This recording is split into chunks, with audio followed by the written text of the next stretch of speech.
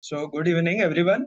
Uh, sorry for not uh, being in your midst because uh, my bail conditions do not permit me to travel beyond Maharashtra and Goa. Uh, most of people might be knowing about my background. I'm uh, one of the BK16. So, hey. Uh, well, my topic is dissent, privacy, and state, something like that. And everybody knows what is dissent. Dissent is a vital component of democratic societies, enabling the questioning of power and the pursuit of social justice. Uh, however, states often suppress. States do not like dissent, you know, to maintain control. It's not only uh, confined to India. World over, dissent is not liked by the states. and privacy, as you know, privacy in simple terms probably is uh, the right of people to be left alone privacy uh, is sacrosanct because it underpins fundamental human rights, protects against abuses of power, ensures psychological well-being, maintains social integrity, and upholds legal and ethical standards. uh, there is a very intimate connection with privacy. Privacy and dissent are codependent.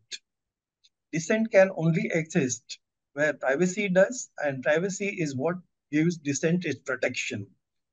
And privacy, on the other hand, could exist where dissent is possible. what has happened uh, to the dis to dissent? Whenever such questions actually are invoked, we go to constitution and find that we have all these rights uh, enshrined in the constitution. That we have free speech, uh, there is a plethora of rights that have been given, but we do not understand uh, that the constitution actually imposes a lot many restrictions too. None other than Baba Saheb Ambedkar, you know, uh, defended these uh, restrictions and justified them. He was uh, uh, he was actually defender of something like uh, these restrictions against free, free kind of speech. Um, he was influenced by the American case, you know, when uh, the uh, the subject was discussed in the Constituent Assembly, Ambedkar involved, involved the Gitlow versus State of New York judgment, wherein the, the Supreme Court of the US said that the rights are not absolute. The state ultimately has something like something what is called police power, and under that, rights get restricted. The free speech is not an absolute, and it gets restricted. To that, uh, one of the vocal uh, member of the Constituent Assembly, Professor K.T. Shah, said that all these rights, particularly speech, free speech, etc., has been given by the right hand and it has been taken away by one, two, three, four, and five left hands. So such were the comments. Even one another uh, Constituent Assembly member, Somnath Lahiri, also had commented upon the arbitrary definition of the security. You know, there are a lot of such restrictions imposed uh, on these uh, rights like uh, sovereign under the sovereignty of uh, and integrity of nation, national security, then foreign uh, relations with the foreign countries, defamation, and contempt of law, decency and morality, etc., uh, etc. So then, effectively, what happens is the state has used these restrictions, whatever founding fathers might have meant, but the subsequent successive governments have used this to their hilt and denied people their rights, fundamental rights, so called. Privacy uh, also is a, a kind of, uh, you know, uh, like to restrict the dissent, the surveillance comes in because less dissent becomes something like a collective phenomena and gets uh, um, coinage in society state would be interested to curb the dissent, and for that they created the surveillance infrastructure. Surveillance infrastructure, uh, everybody knows what the state surveillance infrastructure is. There is a lot of something like an IB and RAW and things like that. And there is a network of police informers uh, in the society, which actually keeps on uh, surveilling some people who are uh, personal non-grata to state or person uh, state would like to have surveillance on. the surveillance thing has really uh, aggravated uh, with the advent of IT, information technology, particularly internet. When the world was the world started getting networked, it became very very difficult to kind of resist these uh, surveillance attacks. Where I happen to be uh, IT head of my company uh, then, and almost was one of the evangelists actually for in information technology. Uh, we were uh, th there are a lot many pluses. Obviously, there were many pluses with this technology, but we were even aware that what a rogue kind of politicians could do with this, or even the rogue uh, of different kind also could use it, misuse it for their uh, their purpose. So now you see uh, what kind of surveillance can be exercised by the state to, to the thing has come to the fore that almost none is safe here. Everybody is almost uh, surveilled very intimately. You are naked before the state, and state is opaque to us. The state would not reveal anything, but every individual or all public is naked before the state. You have, you know, Aadhaar, uh, which actually came with the garb of something like doing social justice to people, transferring funds, etc to their account directly and in eliminating middlemen. But it is now became something like an additional burden and uh, some uh, something like um, a surveilling tool on the people. You are, uh, all kinds of data is with the state, and there are leakages to this data, the, the other data. There are reports that are being sold in the market for as low as five hundred dollars. So these became a, so sort of pervasive that it becomes worrisome now that we are we do not have any privacy left. Uh, there are uh, uh, in, everybody knows the architecture. Probably the people have uh, idea at least. You don't have to know uh, architecture of internet and everything, but there are something like the subsea cables, data cables, OFCs, we call, and they carry huge amount of data. And there are tools. There have been plethora of tools like Tempora who actually uh, can uh, tap into these cables and collect huge data in one in, in chunks. And this is going on for now years. Uh, there are something like uh, uh, uh, there are other tools which actually uh, track even data flows, international data flows, and it, something like one uh, time within a month, something like 97 billion pieces of data were stolen. India is actually doing all these kinds of things, and India ranks almost fifth in the world in data collection. It had within 20 days those days when it was actually being monitored, it had collected 6 billion pieces of data on Indians. so in one way, you know, the, the uh, attack on dissent has been built in into the constitution right from the constitution itself. Not many are aware of. And another way, the surveillance also started getting built and got uh, uh kind of accentuated uh, with the technology. So both ways, people are squeezed. There is absolutely no dissent. People, uh, states have created the uh, complement of uh, draconian laws. There are plenty of them. There are hundreds of them, but the prominent one that we know of, UAPA, AFSPA in Northeast uh, uh, being used, Public Safety Acts, and various special power, uh, special public uh, uh, uh, public security acts enacted by the states. Maharashtra recently was proposing to enact a state, and the chief minister, when the it was the bill was presented when the assembly was coming to an end, and then the chief minister actually said, oh, the deputy chief minister said that they would bring an ordinance. They, such is the hurry and such is the important being given to this kind of uh, architecture. So today you do know that uh, like last 10 years we have been facing this uh, kind of uh, things.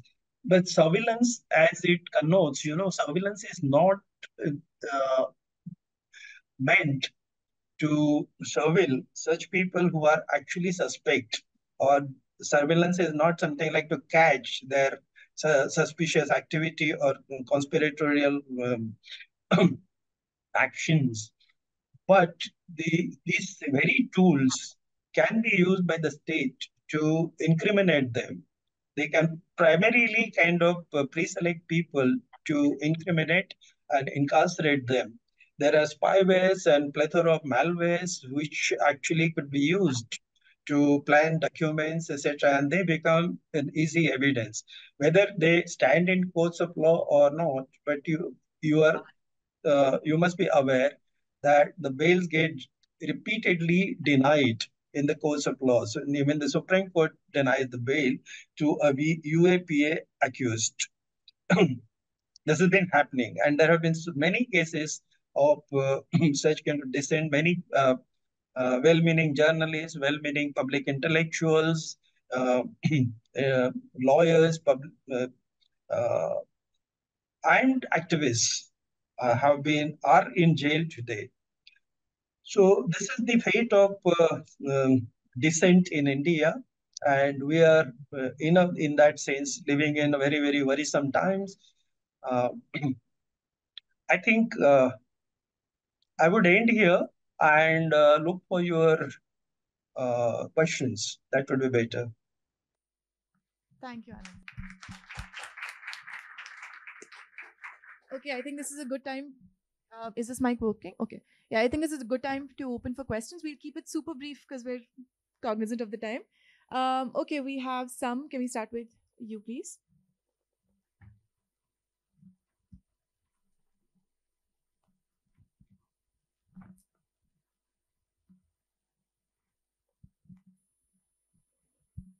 long press on the.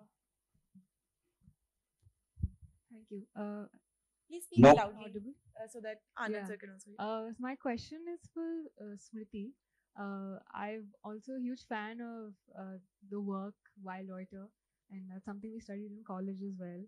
And um, recently, last year, in fact, Karnataka government had come out with their Shakti scheme, which allowed women to travel freely in buses. And one of the consequences of that, which I think even they weren't expecting, was how women use that to loiter and even increase economic activity within the state, right? So all of a sudden there were reports of women just going around with their friends, visiting temples or waterfalls and sites that they would have never seen without the presence of a male family member. Uh, I just wanted to ask you, are there similar policy interventions that come to mind that have had these kind of effects on uh, women's agency to loiter? Thanks for that. Yeah, I think there are others, right? Delhi has a similar policy of allowing uh, women free DTC travel on bus. In Himachal, where I come from, on Raksha Bandhan, only women are allowed to travel for free. So that's not really loitering because it's kind of purpose driven to get protected by their brothers. But uh, but really yeah i think it is ideas like these of uh, creating spaces there are movements like reclaim the night which usually happen of course in response to sad incidents. But again there I, I, think i wanted to give this example earlier and i missed giving it but you know the report which was out from the wire a few days back about the you know this reclaim the night protest around uh, organized in mumbai outside the hiranandani a posh complex. And when people from the neighboring slum other women wanted to be a part of it uh, you know they were excluded. So there is it's also important to realize while these interventions are interesting and important there is always this hierarchy and uh, you know uh, but i'm digressing from your question but uh, to to answer your question yeah i think the state has tried to make some of these interventions. Of course one can be skeptical and say it, it is of course political in that sense but but it does help uh, increase agency for women when such interventions happen. Another question coming in from this side of the room. Can we have that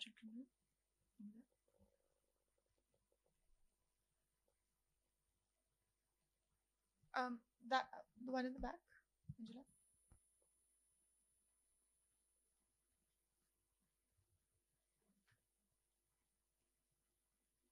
Hi, uh, my question is to Smriti. So you have talked about claiming or reclaiming the public spaces to loiter, and uh, people are also very willing to give up the privacy in the public space by you know uh, uh, giving consent to the governments or the police to establish you know install okay, CCTV cameras and use of facial recognition technology and other kind of technology. Uh, and they have even uh, popular support to the police and other amendments for like public safety amendment in Hyderabad after the you know, bomb blast and everything.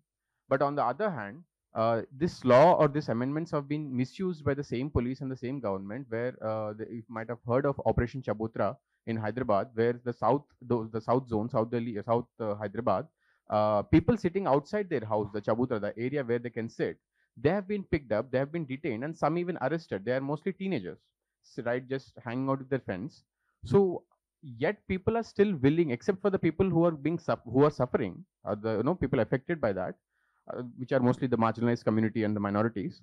Except for that, it, there seems to be a very uh, blanket consent given and blanket you know, acceptance to this abuse of power and violation of privacy just for the sake of uh, you know, uh, security in the public space. This is mostly coming from the privileged community. So how do we begin to understand this? Because it's very blatant abuse of power, and yet the majority of the community, even the educated people, seems to be fine with it.